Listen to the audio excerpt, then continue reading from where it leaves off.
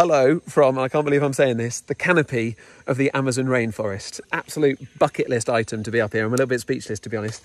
I've been staying at the Tambopata Research Centre in Peru to capture the stories of the scientists. There's one, there's Hugo, doing, um, the researchers involved in uh, Wired Amazon's various conservation biology projects. One of them, um, this is an artificial macaw nest. And Hugo's just been rigging a remote camera that'll be able to have a look at who's coming in here when, uh, check out predators, check out the macaws. Um, super important for their research. I've done a brand new talk. It's called Rainforest Lab. It follows on from Deep Ocean Lab and Everest Lab, um, which tells the story of, of this amazing research that's being done here and also how important the Amazon rainforest is and what's happening to it right now.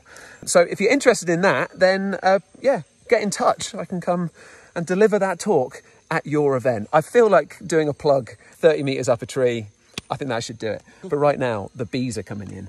Um, they're called sweat bees because we're sweating, so I feel I should say goodbye. Bye.